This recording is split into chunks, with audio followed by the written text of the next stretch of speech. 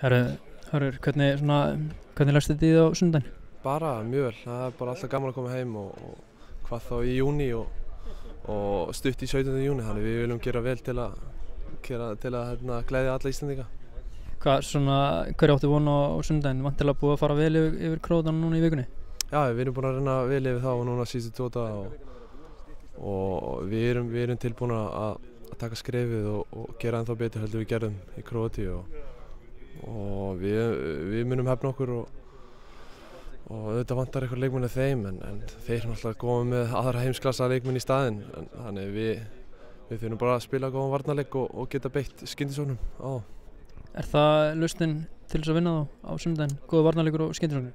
Það er eina af þeim sko, þannig já, við þurfum bara að vera vel, vel spilandi og, og, og við þurfum bara að ná okkar, okkar dampi þá, þá getum við gert og stríkt þeim mjög vel. Síðasti landsleikur sem þú spilaði var svona einn af þínum betri landslíkum í, í, bláu trefni. Gerir þér einhverju vonur um, um að byrja á sundaginn? Nei, ég er nú bara sætla rólu, ég er náttúrulega ungur og, og ég býð bara eftir tækjur eða tækjur í kemur og reyna að nýta það eins vilja ég get og, og þannig við erum, með, við erum með það gott lið að, að það geta allir spilað í öllu stöðunum þannig auðvitað, vonast maður eftir að fá spiltíma en það kemur bara með, með tímanum. Tímambilið svona úti í Englandi, það er svona, svona skrítið tímambil, svona þú lítið tilbaka, hvað er svona, hvað, hvað myndur þú segja að hafi svona klikkað?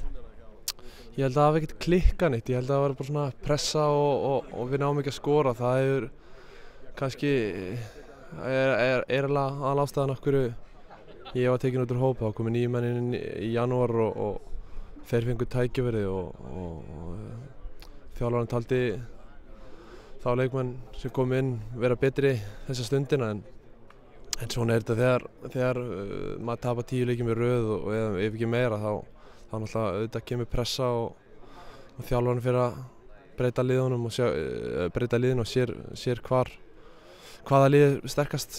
En, en svona er þetta bara, ég fekk dækjur og nýtti það vel en, en, en við náum allan að halda okkur frá, frá falli og það er aðaldrið Þú vonaði að vera áfram hjá Bryssel? Ég er náttúrulega samlingsbundið þeim að leiði þrjú ári viðbót þannig að maður veit aldrei hvernig þessi fókbalti er en, en ég er alltaf að fara út til þeirra núna í byrjun júli og mun aðeins með þeim.